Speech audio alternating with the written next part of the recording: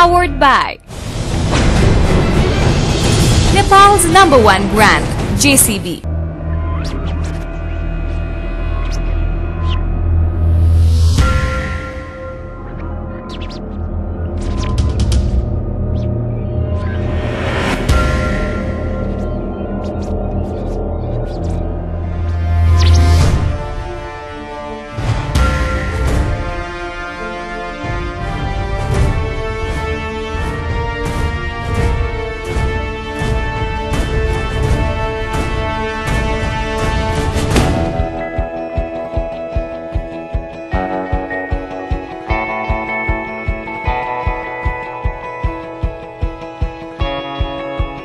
दर्शकवृन्द कार्यक्रम यसो गरे कसोहरूमा स्वागत छ। नमस्कार।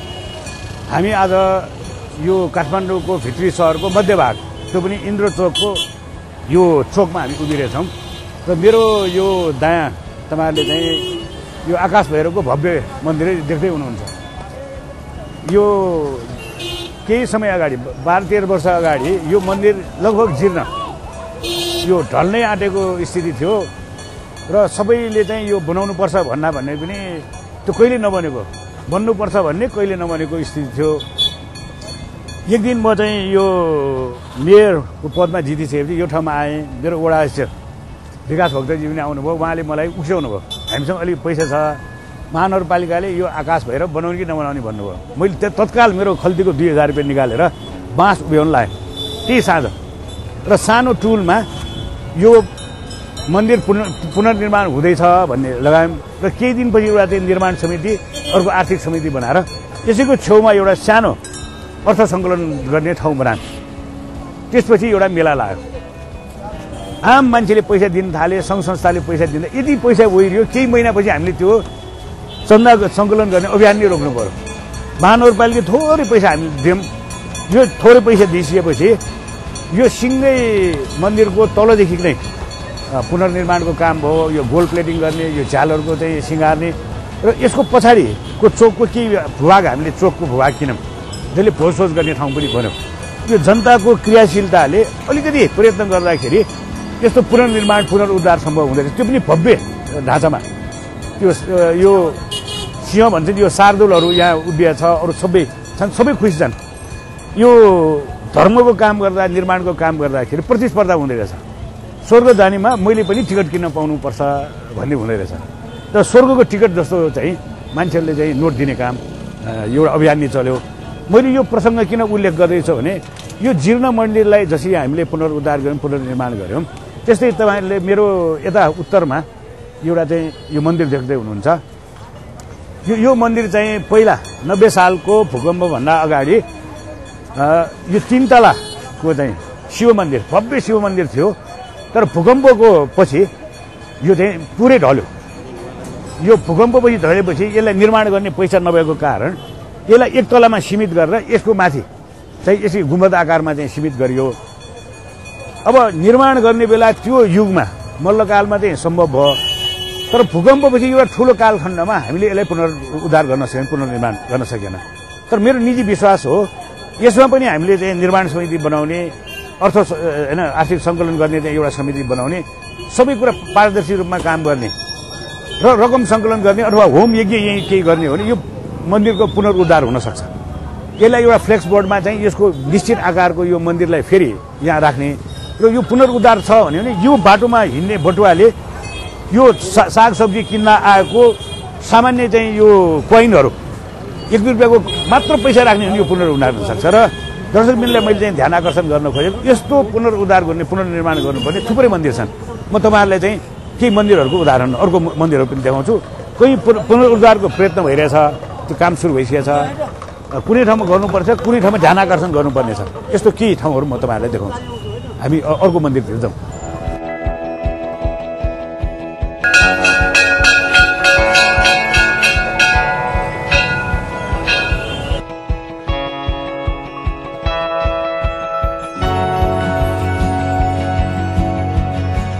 यो चाहिँ यो दाताहरूको नामावली। यो चाहिँ यही काँसको प्लेटमा लगाइएको छ। सानो सानो अक्षरमा छ। तर यो चाहिँ दस हजारभन्दा माथि दिनेहरूको नाम। हेर्नुहोस् त। प्रत्येकको दस दस हजार दस हजारको यो यहाँदेखि फेरि यो सबै दस हजार दस हजारभन्दा माथि सबै। अब योभन्दा तल रकम दिनेको त कति छ कति अथा। त्यो लाइन लाएर पैसा दिन्थ्यो पैसा दिनलाई अझ चाहिँ ढिलो भयो मलाई चाहिँ छिटो चाहिन्छ भन्ने क्या। अनि दिँदाखेरि उत्साह देखिने पाँच हजार रुपियाँ दिने भनेर आएको मान्छेले त्यो उत्साह छ नि मान्छेको चाहिँ जमघट देख्ने जमैल दिइरहेको देखेपछि फर्केर गएर होइन थप पैसा ल्याउने क्या।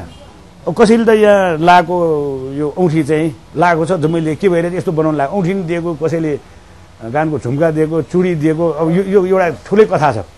आउने त्यो सबैले महायज्ञ जस्तो ठुलो पुण्य प्राप्तिको काम भएछ निर्माणको काम भएपछि मान्छेमा त्यसरी दिल खोलेर आउने रहेछ। त्यो लाइरहेको चुराइदियो क्या यसरी चाहिँ हातमा फुगालेरै त्यो कति दिएँ भन्ने पनि थाहा छैन। त्यसैले त्यो एउटा चाहिँ महाअभियान जस्तो चलेपछि मान्छेले उत्साहपूर्वक भाग लिँदैछ त्यसरी मैले भन्ने गरेको जस्तो अहिले यो इन्द्रचोकमा खाली छ यो इन्द्रचोकमा त्यति जमझम छैन। तर अब इन्द्र जात्रा आउनु लाग्छ मान्छे तयारी गरिसक्यो। इन्द्र तयारी त्यो आन्तरिक तयारी केही पनि देखिँदैन। जब इन्द्र जात्रा तल हुन्छ यो मूल मूर्तिलाई चाहिँ तल लगेको लगेको झ्याम्टा बज्न थाल्छ नगडा बज्न थाल्छ अनि त्यो ठुल्ठुलो पैदा भन्ने बज्न थाल्छ होइन अनि यहाँ त्यो मालासाला उनी उनीरहेछ अहिले त्यो माला लाउनु थाल्छ एउटा ठुलो फेस्टिभ हुन्छ क्या। अनि यहाँ रथ तान्ने हुन्छ रक्सी चुहाउने हुन्छ मेला हुन्छ राम्रो लुगा हुन्छन् राम्रो खाना खान्छ। त्यसरी त्यो फेस्टिभ मोडमा मुलुकलाई लाने। निर्माण पनि गर्ने तर फेस्टिभ मोडमा एकदम उत्साह साथ होइन समर्पणसहित र यो चाहिँ मैले जहिले पनि उदाहरण दिने गरेको यो आकाश भैरवमा। यहाँ आउँदाखेरि इन्द्र जात्रामा अनुभव गर्नुहोस्। सबै मान्छे पार्टिसिपेट गर्ने कसैले फुल हुन्छ कहिले के गरिरहेको हुन्छ कोही बेलुन फुकिरहेको हुन्छ कोही भजन गरिरहेको हुन्छ त्यस्तो एउटा चाहिँ माहौल। त्यो चाहिँ निर्माणमा चाहिँ जोड्ने निर्माणसँग चाहिँ त्यो फेस्टिभ मुड जोड्न सक्यो भने फन पनि भयो रमाइलो पनि भयो निर्माण पनि भयो त्याग पनि भयो समर्पण पनि भयो। त्यसैले चाहिँ हामी अर्को मन्दिरतिर आउनुहुन्छ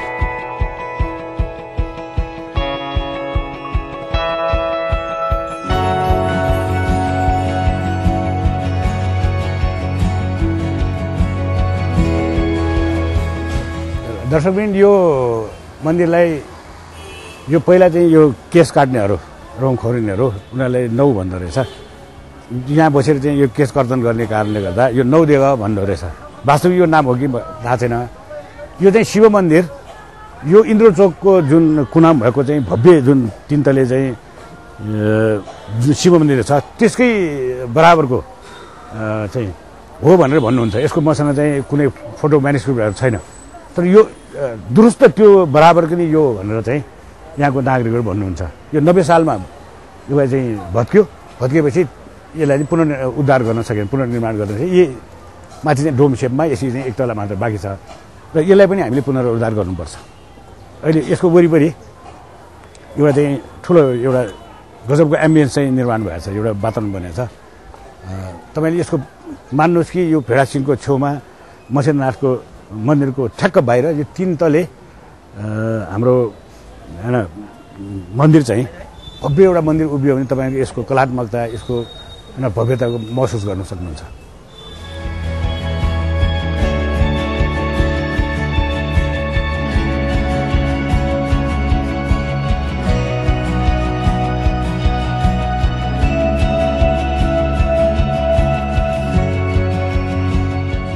खुत्रुके यसलाई गणेशी खुत्रुके पनि भयो? यो हाम्रो यो दोकानहरू राख्न थालेको माटो। नब्बे साल अगाडि। साल अगाडिदेखि दोकान थियो नि। अनि यो मन्दिर कस्तो हो पहिला? पहिला अब नौ तला थियो। अब त्यो नब्बे साल अगाडि चाहिँ यहाँ भूकम्प लागेको भएर यो सानो भएको। त्यो नौ तलाको नौ त्यसैले यो नौ तला भएको कारणले गर्दाखेरि नौ भनेको नौ भयो। अनि नौ देवल भनेको चाहिँ नौ नौ तला नौ भन्ने चाहिँ नौ तला भएकोले पञ्चदेवल भने चाहिँ यो नौ देवल नौ तला भएको हो। तर केही इन्फर्मेसन चाहिँ उहाँहरूले यो चाहिँ तिन तलै हो उताको शिव मन्दिर भन्ने भन्नुभएको छ। तर यसको बारे चाहिँ थप अनुसन्धान गर्न बाँकी छ। यो साँच्चै यो नौ तलाको मन्दिर भएको भए तपाईँ अनुमान गर्नुहोस् यो बिचमा यो चोकमा अनि नौ तलाको यसरी हेर्दाखेरि टोपी खस्ने जस्तो एउटा मन्दिर र अलिकति टाढोबाट यो कुनै पनि कोणबाट आउँदाखेरि यसले चाहिँ मान्छेको एउटा जागरण दिन्छ। यो उत्साह होइन उमङ्ग र एउटा आर्किटेक्ट भालो पनि। देखाउँछ। त्यसरी यो बारे अनुसन्धान गर्यो र एक बाजी अभियान चलाउने भयो भने मलाई लाग्छ लोकल कन्ट्रिब्युसन पनि एउटा साइजेबल कन्ट्रिब्युसन हुनसक्छ राज्यले गर्नु त छँदैछ राज्यको तर्फबाट चाहिँ प्रोत्साहन गर्ने अरू गर्ने बजेट ल्याउने। र यसलाई चाहिँ जस्तो काठमाडौँ भ्याली प्रिजर्भेसन ट्रस्टले भन्ने एउटा संस्था छ थुप्रै मन्दिरहरू उहाँले पुनर्निर्माण गर्नुभएको छ। उहाँहरूको पनि ध्यान आकर्षण गरौँला अरू एजेन्सीलाई पनि खोजौँ।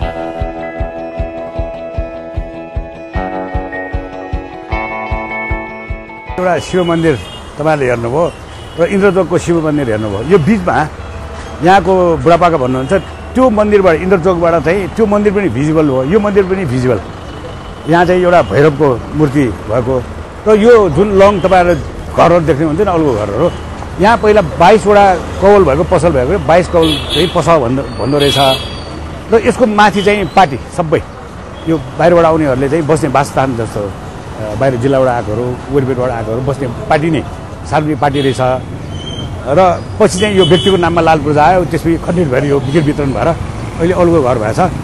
मन्दिर मन्दिर जीर्ण हो यो पार्टीहरू खतम भए बाइस कौल पसल हरायो त्यो अगाडिको इन्द्रचोकको मन्दिर पनि जीर्ण अवस्थामा छ डोमको आकारमा छ। त्यो पनि पेगोडा स्टाइलको तिन तलाको भव्य मन्दिर र एउटा भव्य मन्दिर। त्यहाँबाट यहाँ देख्ने। त्यो सिनको कल्पना गर्दा कस्तो होला?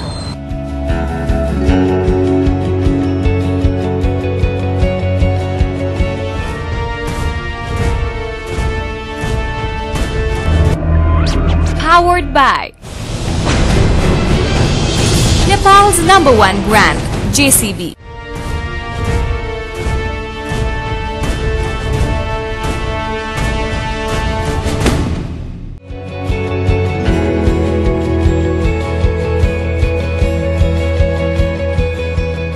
दर्शकबिन यो लक्ष्मीनारायण सत्तल यो नब्बे सालको त्यही नब्बे सालको भूकम्पपछि यसको जुन विस्तृत आकृति थियो अल्गो चाहिँ त्यो तहस नहस भयो। त्यसपछि यसको राम्रो पुनरुद्धार हुन सकेन यसलाई टालटुल गर्ने काम मात्र भएको छ। अहिले पनि जीर्ण छ। दर्शकबिन एउटा भूकम्पले युग युगसम्म शताब्दी शताब्दीसम्म पीडा दिँदो रहेछ। पुनर्निर्माण गाह्रो हुँदो रहेछ। तर एउटा युगबाट हामी अर्को युगमा आयौँ। एउटा फेजबाट एउटा शासन प्रणालीबाट अर्को शासन प्रणालीमा आयौँ। अब बेला भएको छ। हिजो सुनवाई भएन होला। अब गणतन्त्र आएपछि त्यो खोज अनुसन्धान गरेर यसको पुनर्निर्माण गर्नुपर्छ। हामीले रेनोसा पुनर्जागरणको घोषणा गर्नु परेछ यो गणतन्त्रमा। त्यसैले यो मन्दिरको जुन भव्यता छ त्यो भव्यता फेरि पुनर् जीवन दिने फेरि फर्काउने प्रयत्न गर्नु छ। अब दर्शकबिन अब कविन्द्रपुर जाउँ यो कविन्द्रपुर यो भव्य स्ट्रक्चर यो पनि नब्बे सालको भूकम्पमा पुरै तहस नहस भएको त्यसको हामीसँग फोटाहरू छन्। यो धेरैबाजी पुनरुद्धार जीर्णोद्धार भएको पुनर्निर्माण भएर यो यो स्थितिमा छ। यो बारम्बार यसमा अलिक राज्यको ध्यान पुग्यो। तर पनि यसको मूल फोटो जुन छ मूल आकृति जुन छ त्यो आकारमा यसले पुनर्निर्माण भएन। यसको अति भव्यता छ। यसको चाहिँ अझ माथि त तल थपिएको छ। त्यसको हामीसँग फोटा क्लिपेजहरू हामीसँग छ। दर्शकहरूले यसलाई पनि हेरिदिनु होला यो सिंह सतल भन्छ। मान्छेले यो यो चाहिँ शार्दुल। यो चाहिँ सिंह होइन। यो शार्दुल हो। तर अब यो यसलाई सिंह जस्तो मानेर सिंह सतल भन्छ। तर नेवारहरूको भनाइमा किंवदन्तीमा के छ भने यो काष्ठमण्डप र यो अरू निर्माण गर्दा जति पनि काठहरू चाहिँ बाँकी भयो सी भनेको काठ लिउँ भनेको बाँकी रहेको।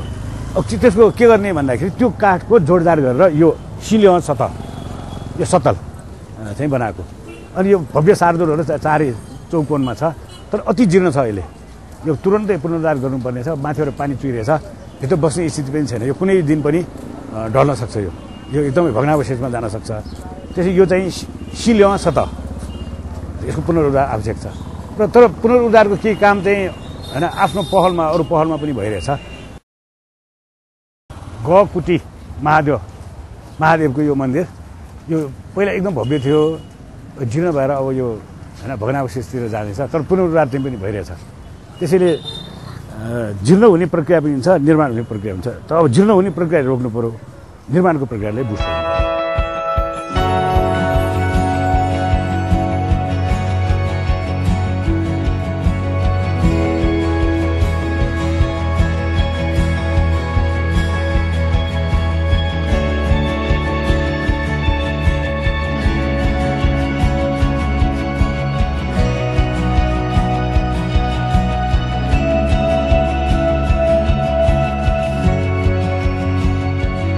दर्शकबिन हामी यही मन्दिरहरूको पुनर्निर्माण रिबिल्डिङ अझ भूकम्पपछि नब्बे सालको भूकम्पपछि जीर्णोद्धार हुन नसकेको रिबिल्ड हुन नसकेको यो मन्दिरहरूकै खोजीमा अहिले चाहिँ पाटन दौडा स्क्वायरमा आइपुगेका छौँ। र अहिले हामी चाहिँ काठमाडौँ भ्याली प्रेसिडेन्ट ट्रस्ट यो संस्थामा आइपुगेका छौँ। यी प्रिजर्भेसन चाहिँ काम नै यहाँ व्यवस्थित रूपमा भइरहेछ। र यहाँको नेपालको प्रोजेक्ट चाहिँ डाइरेक्टर यहाँ हामीसँगै हुनुहुन्छ उहाँ हुनुहुन्छ डक्टर रोहित रन्जितकार उहाँबाट चाहिँ अहिले यहाँ एउटा मन्दिरको नब्बे सालपछि भत्किएर अहिले गुम्बद आकारमा छ यसको चाहिँ सबै विस्तृत विवरणहरू लिने यो सबै गतिविधि लिने चाहिँ प्रयत्न गर्छौँ उहाँ उहाँलाई म परिचय गर्न चाहन्छु। यहाँ डक्टर रोहितजी हुनुहुन्छ। नमस्ते। नमस्ते। तपाईँको यहाँ भइरहेको प्रयत्न छ नि जुन मन्दिरको अहिले अहिले भइरहेको चाहिँ रि रिबिल्डिङ प्रोसेस छ नि यो सिङ्गो यो यसको सुरुवातदेखि यसको इतिहासदेखि अहिलेको भइरहेको प्रयत्नबारे अलिकति जानकारी गराउन अब यो मन्दिर चाहिँ सत्रौँ शताब्दीमा बनेको मन्दिर हो र त्योभन्दा अगाडि नब्बे सालको भुइँचालोभन्दा अगाडि के कति क्षति भयो त्यो हामीसँग चाहिँ त्यति रेकर्ड छैन तर नब्बे सालको भुइँचालोको फोटो अगाडिको फोटो हेर्दाखेरि पाटन दरबार स्क्वायरमा वान अफ द ठुलो मन्दिरमा आउँछ। र सायद चाहिँ नब्बे सालमा धेरै मन्दिरहरू भत्कियो भत्किँदाखेरि अब सबै बनाउन सम्भव पनि भएन। त्यसकारण मुख्य मुख्य चाहिँ अब मेन स्क्वायरको दरबारको नजिकहरूलाई चाहिँ धेरै जसो रिबिल्डिङ गर्यो। तर यो चाहिँ अलिकति छेउमा परेको र साथै यो मन्दिर चाहिँ दरबार स्क्वायरमा भए पनि यसको हिस्ट्री चाहिँ मल्ल राजाले निर्माण नगरिकन राजाको चाहिँ प्रधानमन्त्री अथवा त्यो बेलाको चाहिँ मुख्य जुन उहाँको थियो त्यो उहाँले चाहिँ अ, त्यसकारण सायद पनि यसलाई चाहिँ इग्नोर गर्यो कि र पछि हामी यो बनाउने चाहिँ कसरी उ भयो भन्दाखेरि यसको हामीले पुरानो फोटोहरू भेटायौँ। र साथै एउटा एटिन फिफ्टीको एकदम राम्रो स्केचहरू पनि देखियो। ओल्डफिल्डले गरेको त्यसमा पनि अब कार्भिङहरू इत्यादि डिटेलहरू जस्तो देखिन्छ।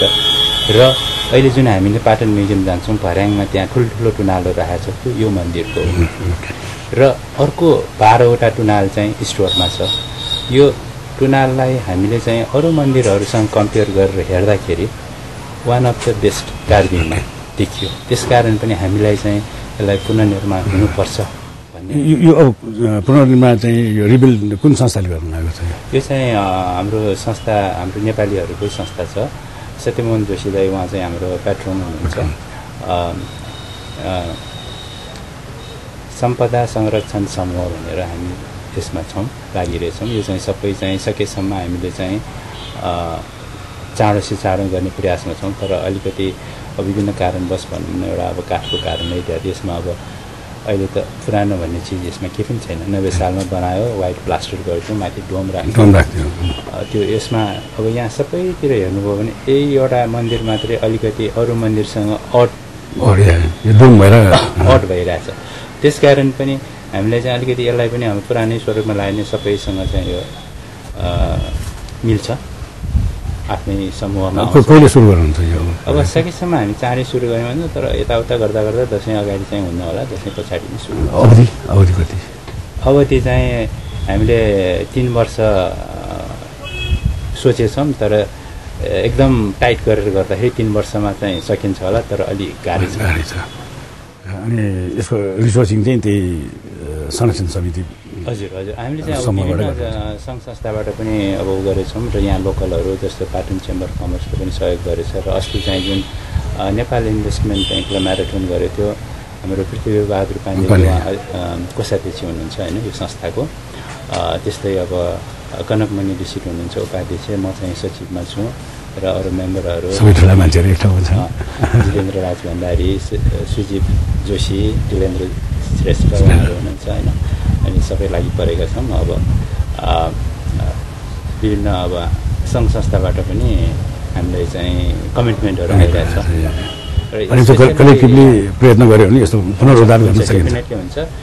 यस्तो कुरोमा चाहिँ जस कोही अगाडि चाहिँ सर्नुपर्छ। सबैले चाहिँ उसले अगाडि उसले गर्ला उसले गर्ला गरेर हेऱ्यो भने चाहिन्छ। धन्यवाद सर। राम्रो प्रयत्न गर्नुभएको छ। दर्शक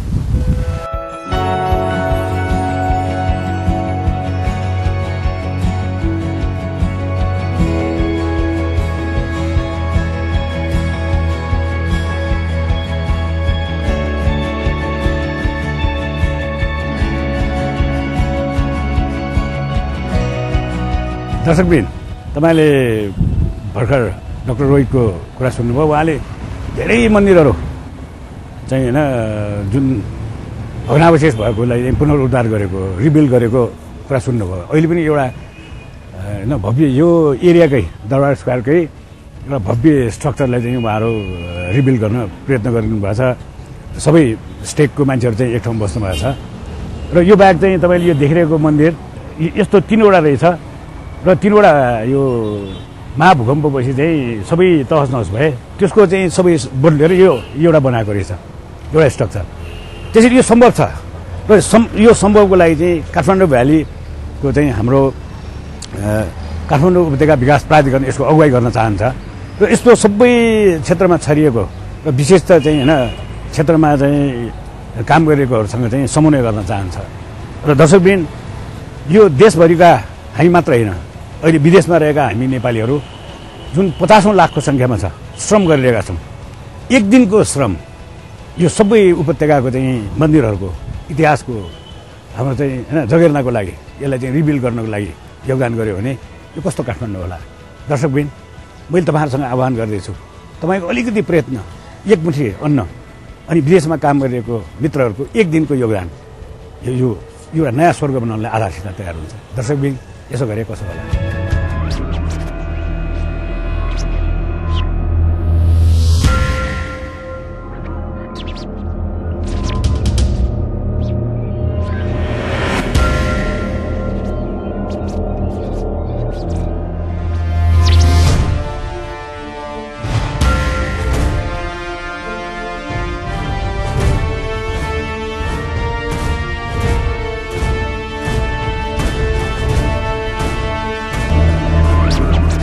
By